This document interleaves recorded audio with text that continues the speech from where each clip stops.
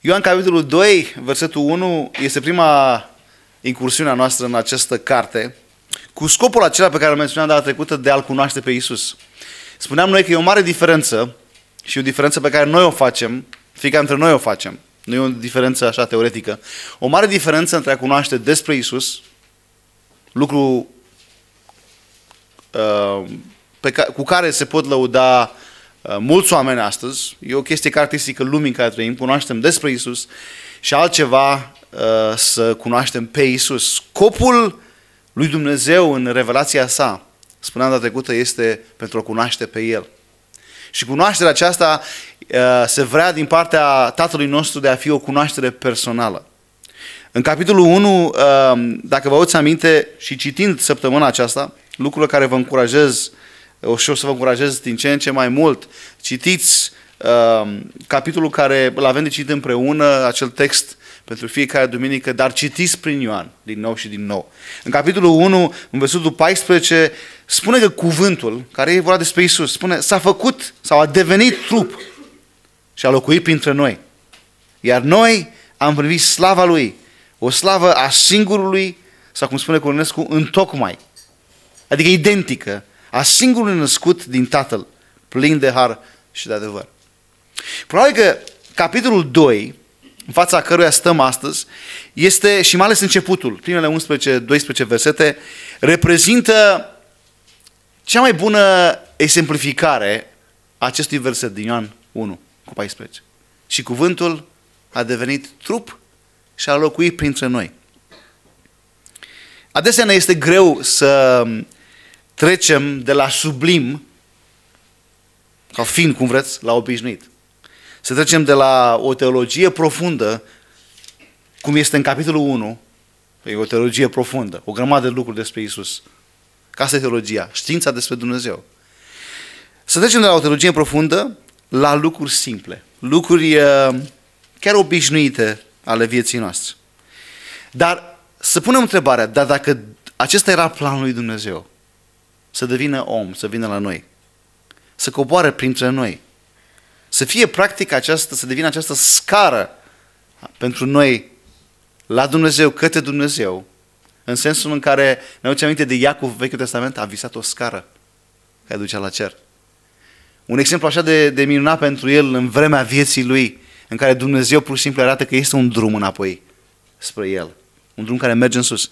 Dacă acesta era planul lui Dumnezeu, atunci nu-i de mirare că îl găsim pe Domnul Isus la o nuntă. Pentru că o să mergem, dacă vreți, sau dacă nu vreți chiar, o să mergem la nuntă astăzi, o să mergem la nuntă într-un orășel, într-un sătuc de fapt, uh, numit Cana Galilei. Hai să citim textul, primele 12 versete din capitolul 2, Evanghelia după Ioan. A treia zi a fost o nuntă în Cana Galilei. Mama lui Isus era acolo. La nuntă au fost invitați și Isus cu ucenicii săi. Când s-a terminat vinul, mama lui Isus i-a zis, nu mai au vin. Sau probabil că nu a spus așa de liniștit. Nu mă vin! Iisus i-a răspuns, femeie. Apropo, care înseamnă în sensul de doamnă, nu, nu e nimic urât, nu e nimic uh, nea locului.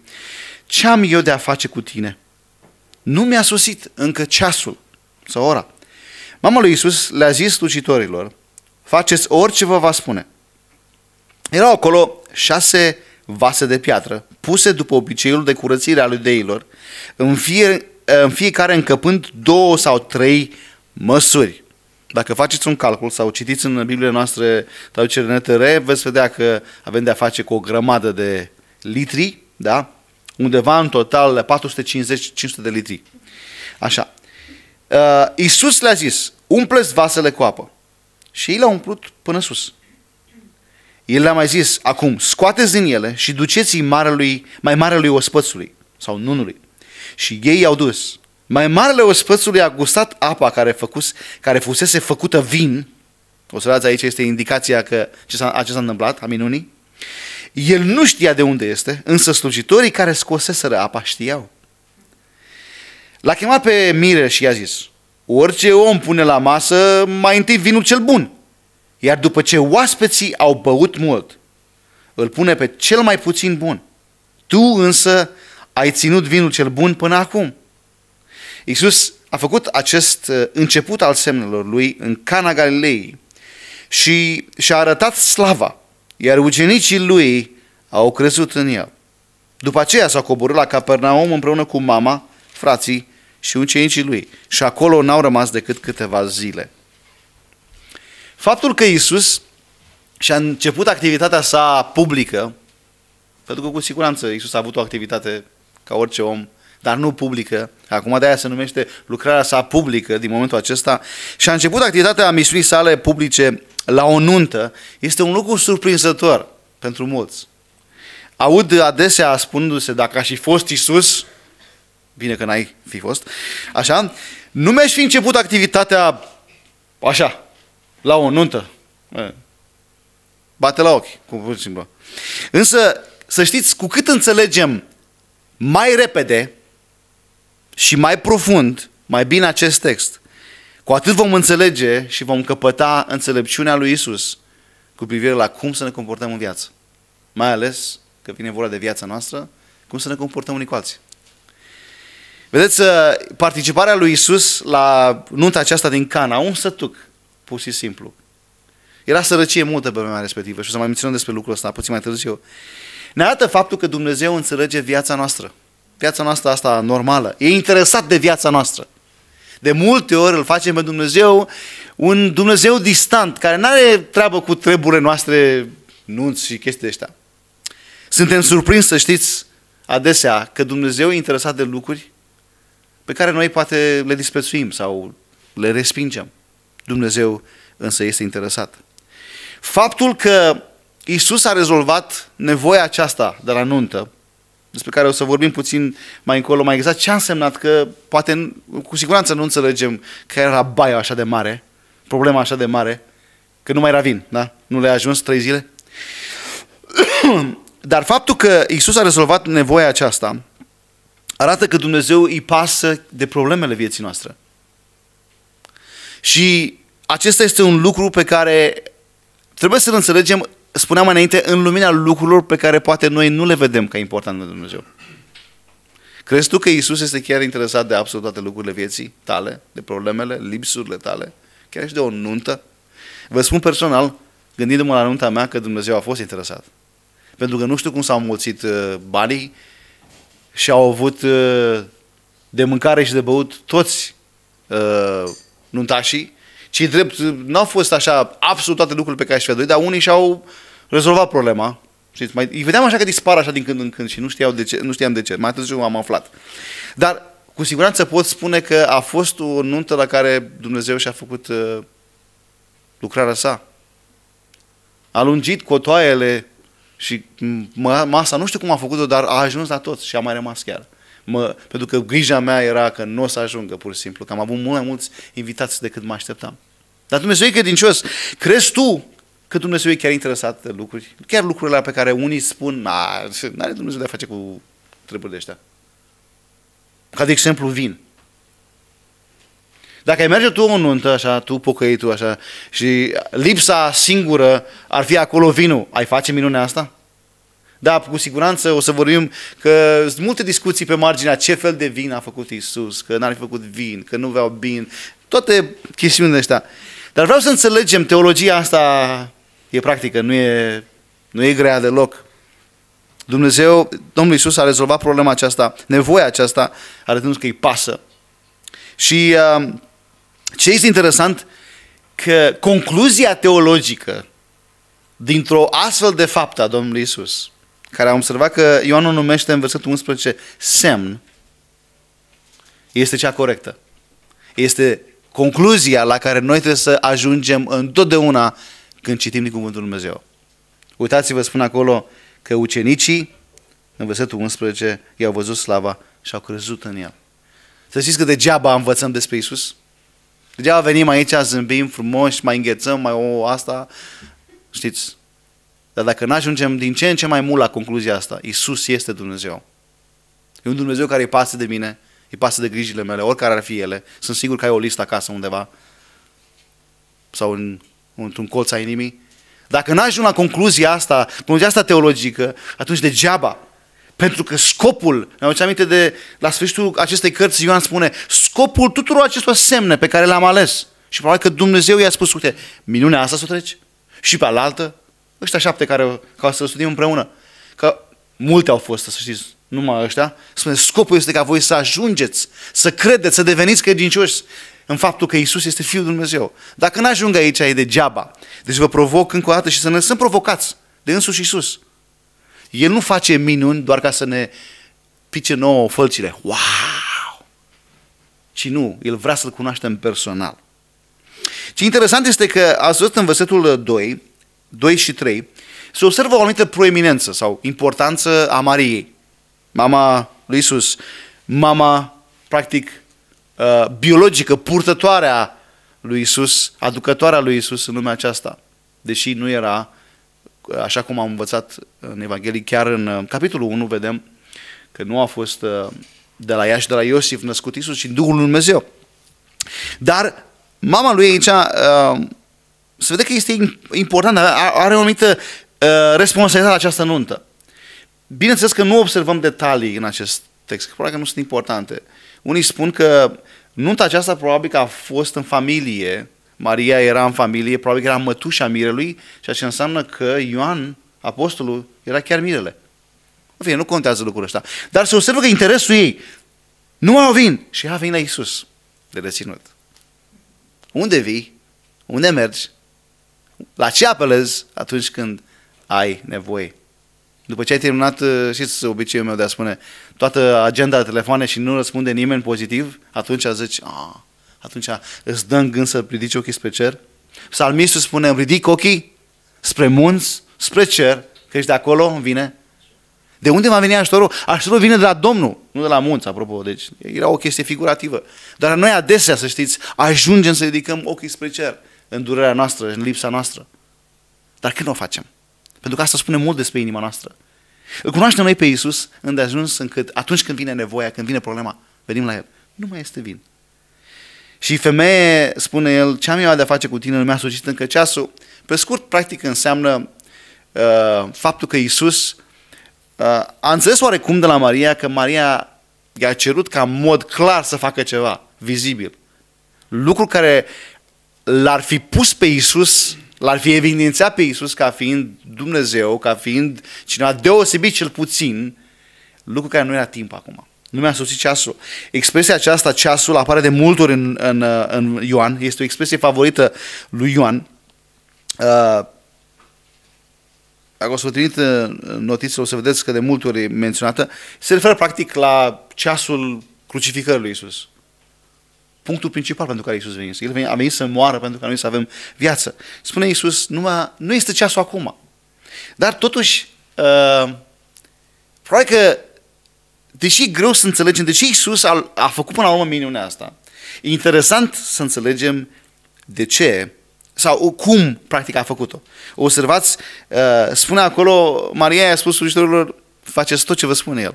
Nu puneți întrebări. La orice nuntă, ca și astăzi, există slujitori. Există acești uh, chelner sau cum vreți să îi numiți, care aveau grijă de tot, tot ce ținea de masă. Trebuie să înțelegem ceva despre nunțile evreiești. Pentru că nunțile evreiești sunt un, un exemplu de bucurie a vieții. Deși vremea aceasta, spuneam, era o vreme de sărăcie. Ocupația romană adusese sărăcie în, uh, în uh, Israel, practic. Nunțile erau, practic, cel mai important eveniment social din viața evrească erau așa de importante încât oricât ai fost de, de, de um, sărac, când venea vorba de nuntă și de obicei nunta era pregătită de mire, mirele invita, da? acasă și avea loc, ospățul mirelui avea loc înainte de nunta propriu-zisă, foarte interesant, totuși nu se precupețea nimic. Nu se făcea nicio economie în ce privește mâncarea și băutura. Este interesant că anumite reguli pe care le aveau și le țineau evrei de obicei, erau anulate, erau puse deoparte în timpul nunții. Da? Adică probabil uh, regula aia cu care spune în proverbe când te duci la o masă, puneți un cuțit în gât, ca nu cumva să ajungi să fii lacom și să fii judecat. Probabil că nu mai ținea aia. Deci nimic care uh, oprea sau putea, era potențial de, de inhibare a bucuriei la nuntă, nimic uh, nu era lăsat acolo. Practic, bucuria trebuia să fie absolut în floare. Bucuria trebuia să fie apanajul evenimentului acestuia. Nu te ținea o săptămână, un lucru diferit, da? Și asta era a treia zi. O să în a treia zi. Și probabil că Iisus și ucenicii au mers, uh, fiecare era invitat probabil în anumită zi, mă rog, dar au mers și ei. Și imaginați-vă un eveniment de gestul ăsta, de genul acesta pentru o săptămână. Familia punea la dispoziție mâncare, băutură și în loc să fie oferită mâncarea și băutura de două ori pe zi, în porții mici, cum era obiceiul la evrei de obicei, în zilele obișnuite, de data aceasta era la discreție. Deci masa era mereu plină. Ne gândim noi, mândrie sau ce? Nu, era pur și simplu felul de a se bucura alor. Vreau practic ca evenimentul acesta să fie o deconectare absolută de la viața obișnuită, de la sărăcia obișnuită, de la abstinențele obișnuite, de la legile obișnuite. Nunta era o ocazie uh, de o exprimare bogată a activității sociale evreiești. Să erau jocuri, muzică și vă dați seama unei muzică e și horă și horurile evreiești. Nu știu dacă este ceva care să, să întreacă acest lucru. Mă gândesc, oare nu avem noi de învățat? Practic e un lucru în vremea noastră uh, care trebuie să-l învățăm, să știți, trebuie să lucrăm la este să învățăm să ne distrăm. Să, dis- să sărbătorim. Și eu cred că de, de anul ăsta nou uh, ne-am dat în stambă, cum e vorba, adică ne-am, uh, ne-am descurcat destul de bine. Mi-a plăcut ceea ce am văzut. E un mod obișnuit. Și să știți că uneori ceea ce facem noi, felul cum ne bucurăm în Dumnezeu, e adevărat, înaintea lui Dumnezeu facem toate lucrurile. E o surpriză pentru cei din lume. Pentru că într-un fel sau altul, vina noastră, vina oamenilor, Oamenii înțeleg, oamenii care nu înțeleg ce înseamnă să fii credincios în fiecare zi, inclusiv la distracții, au impresia că viața creștină, viața cu Hristos este o viață de tip struț. Ai băgat capul în pământ și nu mai ești. Dar struțul moare, să știți, când iese în stradă. Știați faza? N-are unde să bage capul. Asfaltul e cam gros. Și noi murim adesea când pur și simplu în uh, ocaziile vieții, ca de genul acesta, de uh, o ocazie de bucurie, cum este o nuntă, nu suntem în stare să ne distrăm, să ne bucurăm? Dacă avem un Dumnezeu așa de mare, dacă Iisus însuși a zis, e ok să merg la nuntă, și în curând avea să facă o minune care avea să rezolve problema cea mai gravă la o nuntă, să nu mai fie vin. Da? Nimeni a vorbit despre treaba asta. Dar Iisus, prin prezența Lui, prin aportul, ajutorul Său la această nuntă și și afirmă. Afirmă în primul, în primul și în primul rând valoarea familiei. Vedeți? Nunta pentru evrei era o expresie a împlinirii sau ascultării de voia lui Dumnezeu. Vă aduceți aminte prima nuntă unde a fost? În grădina Eden, Dumnezeu l-a creat pe om. Și l-a pus acolo și a spus, nu e bine să fie singur. Și a dus, i-a făcut o femeie, a dus-o la ea și a spus, aceasta este Ișa, pentru că el era Iș. Este, în cuvântul acesta, în numele acesta înseamnă că este luată din mine. Este exact ceea ce sunt eu în esență. Și văd în ea, de altceva. Nu e așa, bărbaților? E altceva. Și, la, și invers. Dependența noastră în altul a fost ideea lui Dumnezeu. Nu e ideea noastră. Căsătoria, nunta, cu toată frumusețea ei, este, este părerea, ideea lui Dumnezeu. Dar ce am făcut noi din ea? Ce am făcut noi din nuntă, ce am făcut din familie, ce am făcut din căsnicie, ce am făcut din mariaj? Doamne ferește. Iisus însă aici, prin prezența Lui, prin ajutorul Lui, arată și binecuvântează credința celor doi care erau mire acolo, că Dumnezeu a spus, nu este bine ca omul să fie singur și ce le-a mai spus? Creșteți? Prima poruncă, să știți. Geneza 1 cu 28. Creșteți și înmulțiți-vă. Oare de ce noi avem altă părere? Nu spune când, cât. Este treaba noastră cu Dumnezeu ce hotărâm, dar crește și înmulțiți-vă. Și asta a fost lucru pe care îl făceau. Era o ascultare din partea lor față de Dumnezeu. Mă gândesc ce înseamnă gândul familiei pentru noi astăzi. Zile trecute am avut, am avut un seminar la școală despre familie și mamă câte s-au spus. Ce, ce îmi plăcea este că se spuneau. Erau foarte, uh, vociferau și erau foarte încintate așa vis de, de fenomen. Da? Și când am fost întrebat, dar dumneavoastră ce ziceți? Da? E bineînțeles că am folosit ocazia. Cei drept, să știți, înțelegerea familiei, căsătoriei, înainte de a deveni familie, este cea mai importantă. Pentru că ce fac un lucru pe care nu-l înțeleg? Îl fac ca să-l înțeleg? De ce se aude la, în fața judecătorului și acum mai nou în fața primăriei? Nu ne mai potrivim. Păi cum înainte nu vă potrivați, nu ziceați că vă potrivați. Dar când, Maria, ă, când uh, Logodna e de vreo două, trei zile sau două, trei săptămâni așa, repede așa, pe, pe, pe bâșbăită sau pe pipăite, din păcate, cum să, cum să dureze? Cum să dureze? Iisus ne binecuvântează, să știți, aici, prin prezența Lui și prin ajutorul Lui, încrederea celor doi. Dumnezeu a spus, nu este bine. Este bine să, să, să fie o nuntă, să, să formeze o familie. Și El cel care o binecuvântează, El binecuvântează valoarea familiei. El binecuvântează valoarea, valoarea căsnicii. Și dacă stăm să ne gândim, nu așa spune în proverbe? Că o nevastă bună, și merge și invers, să știți, deci nu vă îngrijorați femeile, un bărbat bun este un dar de la Dumnezeu. Uh, vorba unui strămoși de nu vă frecurzi ca în nas pentru cei care sunteți necăsătoriți, dar vă dau o veste bună, vestea la Dumnezeu. Un partener de viață este un dar la Dumnezeu. Îmi place că în altă parte de proverbe spune este un har de la Dumnezeu. Deci nu încercați să-l meritați. Oricine a fost binecuvântat aici știe că e un har. Să știți că după mântuire, căsnicia, căsătoria, este cea mai mare minune a lui Dumnezeu. Sunt două mari minuni pe care Dumnezeu le-a făcut. Dacă vreți, de a numiți și instituții. Nu se poate, fără Dumnezeu, să ai succes aici. Nu poți să fii mântuit, pentru că nu este un alt nume în afară de Isus Hristos, o altă cale, un alt adevăr.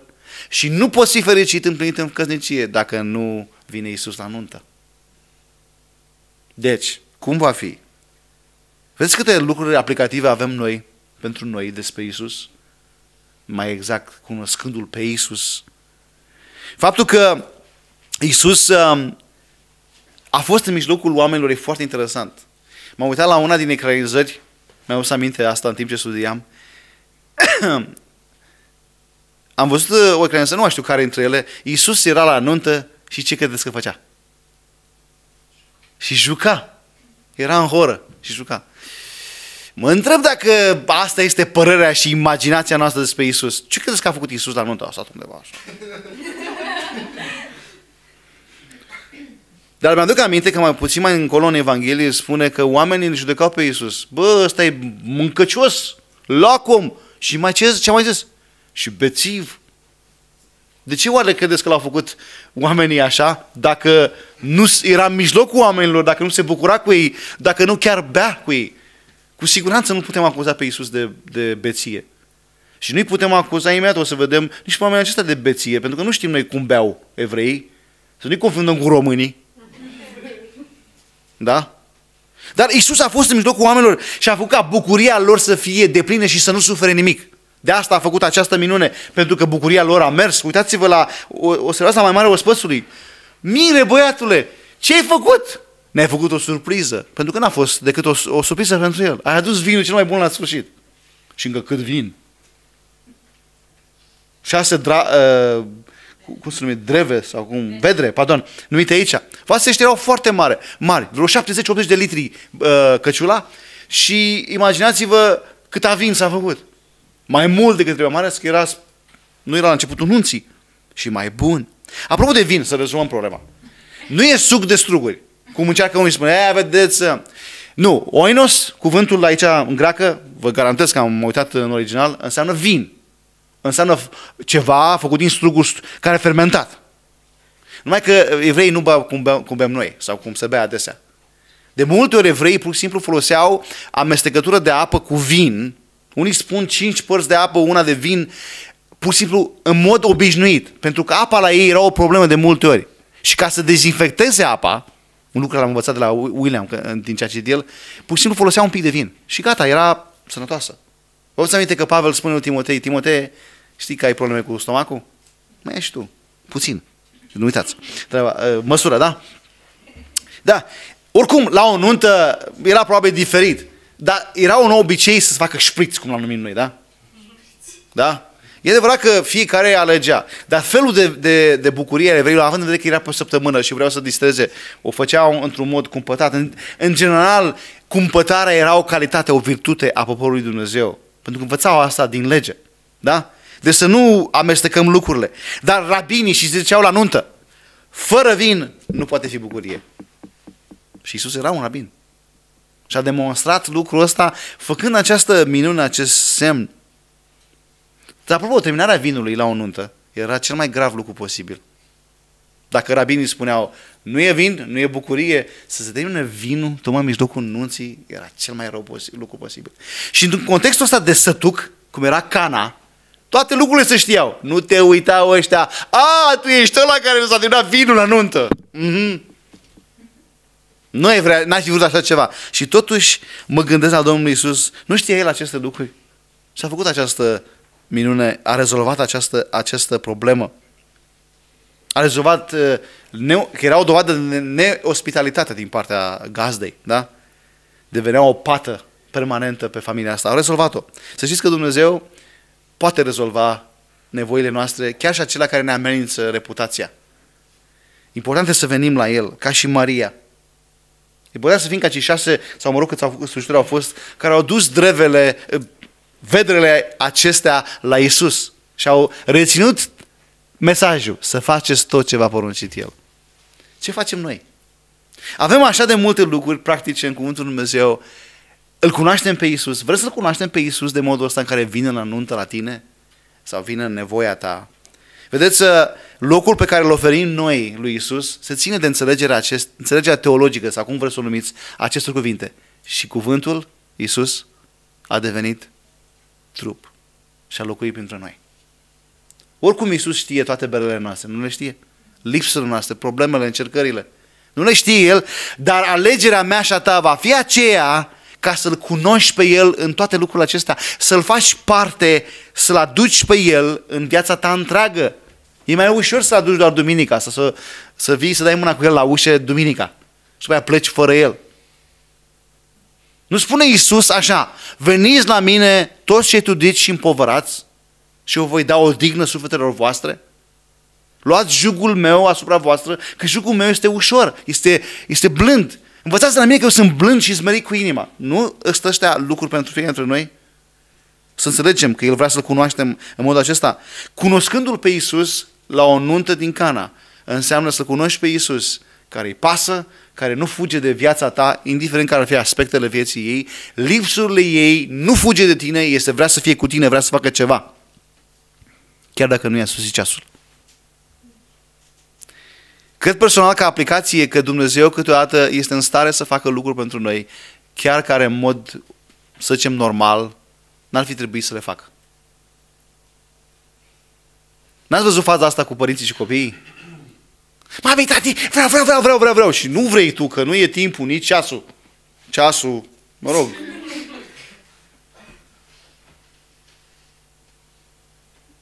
Dar faptul că Dumnezeu ne-a răscumpărat pe noi, care înseamnă ne-a cumpărat a doua oară, apropo, fusese mai lui, prin păcat, am fost furați de la el și Isus, prin jertfa sa, și când eu cred în jertfa sa, sunt cumpărat, sunt răscumpărat a doua oară. Nu asta e o dovadă a faptului că merită să vin la el chiar și când nu e ceasul. Mă aduc aminte ilustrația aceasta cu acest copil care își dorea o barcă. Își dorea nebunie o barcă. Era, trăiau într-un loc unde era un, un râu frumos uh, pe lângă satul lor și era neburit să aibă și el o barcă. Și la uh, unul din uh, um, magazinele uh, din satul respectiv era nenea care avea cea mai frumoasă barcă din lume. Cel mai frumos vaporaș existent pe fața pământului vreodată și și-o dorea așa de mult. Și ce a făcut? S-a dus la tati. Tati, tati, vreau și eu, vreau și eu, vreau și eu, vreau și eu.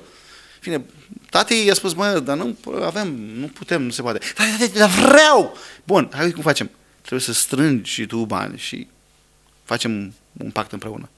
Și a început copilul, bani pe bani, bani pe bani, bănuți pe bănuți, până când a ajuns să aibă uh, uh, bănuții respectiv. S-a fost gata să meargă să facă și lucrări, să muncească. Cu banii, a dus la cumpărător și a mândru și spune, vreau parca aia, aia din care m-am mutat luni de zile la ea, după ea. Norocul că n-a luat-o nimeni. Așa, asta e adăugirea mea la poveste. Așa, și a luat-o și a zis, ah, ești a mea! Și s-a dus. Și s-a bucurat pe... Numai că problema este că într-o zi, după ce fusese niște ploi abundente, râul era mai mare, mai vorburat. Și a luat barca și dus a fost. Vă dați seama că ce tristețe a avut el multe zile. Însă inima lui a rămas un gol acolo și a pierdut barca. Barca pentru care muncise și o cumpărase cu însuși mâinile lui și bănuții lui. Însă ce se întâmplă este că la un moment dat, la un magazin de, de anticaria de asta, de lucruri, ce credeți că vede în vitrină? Barca lui. Barca lui care el o cumpărase cu bănuții lui și cu mâinile lui pentru care muncise. Însă era, nu mai era barca lui. Și a intrat în și spune, domnule, aia e barca mea care, care e acolo în față și vă garantez că e a mea. Spune, domnule, banii jos și e a ta. Vă dați seama cu ce tristețe s-a dus și a început de la, de la, de la, de la capăt și dă muncește, strânge bani, bani și a venit cu bănuții și în ziua aceea, dacă prima dată când o cumpărase era mândru și așa cu tupeu, data aceasta plămânii lui erau umflați de dublu de aer și a spus, domnule, vreau barca respectivă. Și când a cumpărat-o și a luat-o, a spus așa, ești a mea de două ori. Vedeți, asta e imaginea lucrării lui Iisus față de fiecare dintre noi. Noi suntem creația Lui, dar ne naștem un păcat și nu vrem să recunoaștem asta. Suntem pierduți. Dar nu putem fi răscumpărați decât cu un preț. Și Iisus a plătit prețul acesta. E dovada faptului că Dumnezeu, Iisus Hristos a făcut trup și a locuit printre noi. Și vrea să locuiască printre noi. Nu să vorbim despre El, ci să vorbim, să cunoaștem, să cunoaștem despre El, ci să cunoaștem pe El și să vorbim despre El ca unii care îl cunoaștem pe El. Știți ce cred eu? Uitându-mă în, în Evanghelie și văd cum descrie Ioan pe Iisus. Vă să aminte, știți ce scrie Ioan în epistola sa primă? Spune, ceea ce am văzut cu ochii noștri, ceea ce am pipăit cu mâinile noastre, ce am experimentat cu viața noastră, aceea vă vestim. Cred că asta e o belea a, a puterii creștinismului în vremurile noastre. Noi vorbim despre, dar nu-L cunoaștem pe Iisus. Oamenii trebuie să înțeleagă prin viața noastră, în primul și în primul rând, că atunci când deschidem gura, să înțelegem că, să înțeleagă și să simtă, și asta prin Duhul Dumnezeu se întâmplă, că noi îl cunoaștem pe Iisus. Nu e o glumă, nu e o poveste, nu e o religie, o formă de, să fiu mai exact, de religiozitate, o încercare a noastră. Nu, ci e ceva original că Dumnezeu a făcut. Dumnezeu aduce bucurie chiar și atunci când nu e ceasul. Dar să știți, motivul principal pentru care, pe care vreau să nu-l scăpăm și care am menționat deja, pentru care Iisus a făcut această uh, uh, minune, este ce citim aici în versetul uh, 11. Iisus a făcut acest început al semnelor lui în Cana Galilei și și-a arătat slava, iar ucenicii lui au crezut în el. Observați, Ioan nu folosește cuvântul obișnuit pentru minune. Și el folosește un anumit cuvânt când, spune, când, când vrea să numească uh, această faptă, această minune a lui Isus aici. El folosește cuvântul semne, semnelor. El a făcut acest semn aici. Cuvântul în greacă este semeion și este un cuvânt pe care noi l-am întâlnit în studiul nostru în Apocalipsa. Știți că în Apocalipsa întâlnim ce? semne. Este același cuvânt, semeion. Și înseamnă o imagine, un simbol cu scopul de a mă învăța pe mine ceva. Și Ioan în ultimul capitol ce spunea? Multe sunt lucrurile, semnele pe care le-a făcut Isus, dar în această carte am pus aceste semne cu referință la cele șapte, pentru ca voi să credeți că Isus Hristos este Fiul lui Dumnezeu. Motivul pentru care Isus a făcut această minune, acest semn, la, la această nuntă, a fost ca ucenicii lui să creadă. Observați, acolo au fost șase oameni, șase, mă rog, nu șase oameni, slujitorii aceia care au luat cele șase vedre și au ascultat, da? Au văzut. Spune despre ei că numai ei au văzut treaba asta. Dar nu se spune că cine a crezut? Ucenicii lui au crezut în el. Care ucenici? Dacă vă uitați în capitolul anterior veți vedea că e vorba despre Andrei, fratele lui, Filip, Natanael. Deja Iisus avea câțiva ucenici, veniseră cu el. Și ucenicii adevărat ce fac? Merg după învățătorul lor. Și iată o dovadă de credincioșie. Stai lângă Isus și îl vei cunoaște. Stai lângă Isus și vei vedea slava Lui. O să spune, slava, au văzut slava Lui și a arătat slava. Exact aceea slavă despre care Ioan spune în 1 cu 14, iar noi am privit slava Lui, o slava în tocmai, exact ca singurul născut din Tatăl. Ce înseamnă slavă? Glorie. În cazul lui Dumnezeu înseamnă prezența Lui. Ceea ce este El. Imaginați-vă. La prima nuntă, puțin de la prima nuntă, din Geneza capitolul 2, slava lui Dumnezeu ce a făcut? A plecat. Din cauza păcatului. Și aici, într-un sătuc, la o nuntă mică din Cana, din Galileea, din Israel, slava lui Dumnezeu s-a coborât din nou. Iisus era în mijlocul lor. Ce înseamnă pentru tine Isus? Cine este Isus pentru tine? Vezi tu slava Lui, gloria Lui, chiar și în lucruri ca acestea. El vrea asta să facă. Motivul pentru care El își manifestă puterea este ca noi să vedem slava Lui. Slava Lui și ce produce? Exact și la ucenici. Iar ucenicii au crezut în El. Expresia înseamnă s-au încrezut în El. Nu doar au crezut despre El, nu, ci și-au pus convingerea, încrederea, decizia de a-L urma mai departe. E adevărat, era, credința asta este o cale, nu? E adevărat și noi știm asta. Dar așa începe. Și așa se menține. Stai lângă Isus. Te întreb, unde ești astăzi? Îl urmezi pe El? Sau zici, oh, eu nu mă duc la nuntă, eu sunt pocăit, eu sunt uh, serios. Iisus a dus la o nuntă din familia lui uh, și s-a bucurat, să știți, și a făcut și ceva. Pentru noi, de adesea, nunțile, nu știu dacă nunta asta a fost pocăită, nepocăită, știi cum vorbim noi astăzi. A fost o nuntă. Și problema era lipsa vinului. Uh, cum ce ai spus? Iisus a făcut ceva, s-a bucurat. Adesea pentru noi lucruri de genul ăsta sunt o tortură. Pentru că e greu. Imaginați-vă o nuntă astăzi la noi. O, un ospăț de genul ăsta.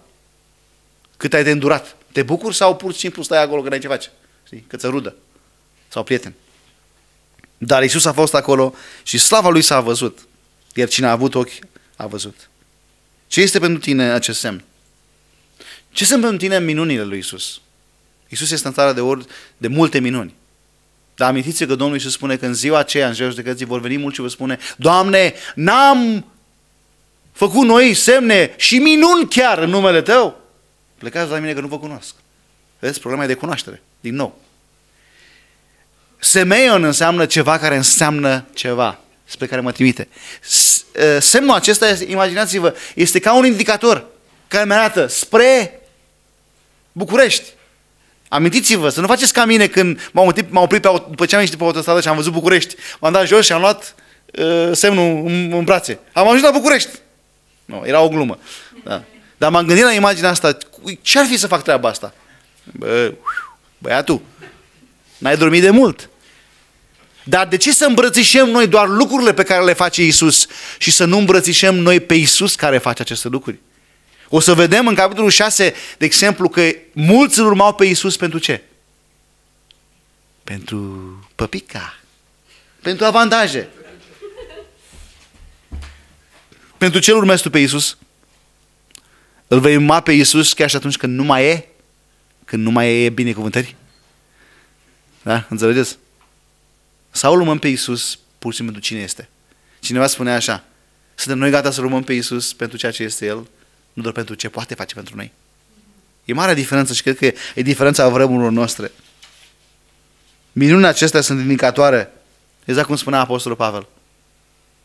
Folosind de exemplu legii. Legea este un drumător spre Hristos. Tot ce a fost scris în vechime spre Hristos arată. El este singurul care a împlinit legea și care a împlinit-o așa de perfect încât noi să nu trebuiască să o împlinim, că oricum nu putem să o facem. Și a arătat slava și noi am privit slava Lui. Ce îmi place foarte mult este cum sfârșește acest uh, pasaj, versetul 12.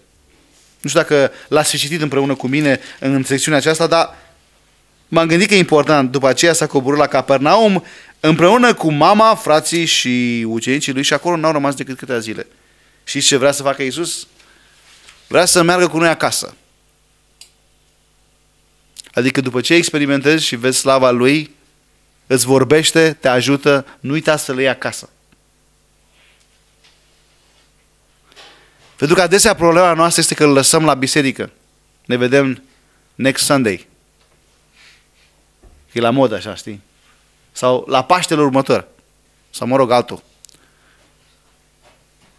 De Crăciun. Ce dovedește acest lucru?